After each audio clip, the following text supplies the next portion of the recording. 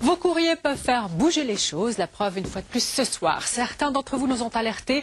Des bougies d'anniversaire appelées bougies magiques ont failli faire tourner la fête au drame. Si vous en avez encore dans vos armoires, ce reportage signé Axel Reduit et Peter Greenwood devrait vous inciter à être très, très prudent.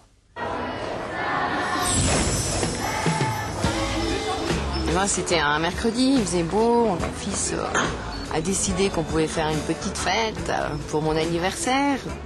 Il est étudiant, il n'a pas trop de sous, donc le gâteau était petit, on n'était que trois et il y avait quand même une certaine quantité de bougies sur ce gâteau.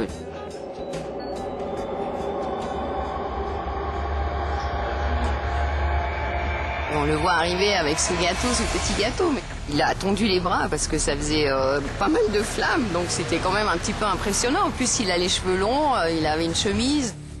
Il est arrivé, il l'a posé sur la table.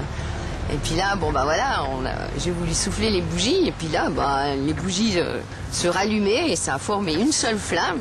Premier abord, on a ri, mais bon.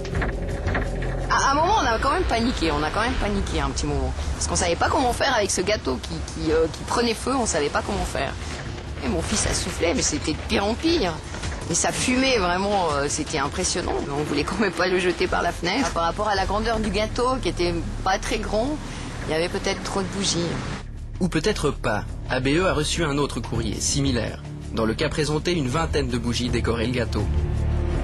Les bougies ont fait des flammes d'une hauteur tout à fait inhabituelle et inacceptable, si bien qu'une petite fille présente a pris peur et s'est mise à pleurer.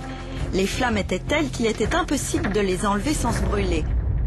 J'achète régulièrement des bougies pour des anniversaires, mais je n'avais jamais rien vu de tel. J'ai trouvé ces bougies dangereuses et toxiques. Que s'est-il passé? ABE a voulu vérifier. Des bougies magiques vendues 1 franc 90 à la COP étaient utilisées dans les deux cas présentés. Le principe de ces bougies, on souffle dessus et elles se rallument. Analyse faite en labo, pas de dégagement de substances volatiles. Hypothèse technique avancée par le chimiste, la cire ou la mèche de ces bougies contiendrait un sel. C'est lui qui serait à l'origine d'une émanation supplémentaire d'oxygène. La chaleur dégagée par toutes ces bougies dans un espace restreint libérerait une grande quantité de cet oxygène, ce qui favorise l'embrasement des bougies. Souffler sur le gâteau ne sert dès lors qu'à attiser le brasier. Pour éteindre les bougies, la notice conseille de les plonger dans l'eau, mais impossible de les retirer du gâteau sans se brûler. Une autre solution doit être trouvée, étouffer les flammes. Pour finir, euh, j'ai eu la présence d'esprit de vite aller à la cuisine chercher une assiette et euh, j'ai recouvert le gâteau. Euh. Bon, après, je vous dis pas l'état du gâteau, c'est clair que. Parce qu'il était foutu, quoi, le gâteau. Un moyen plus simple et moins dangereux serait d'utiliser des bougies classiques. Pas d'effets spéciaux, mais même 50 bougies sur un petit gâteau ne présentent qu'un danger modéré. À condition d'avoir du souffle.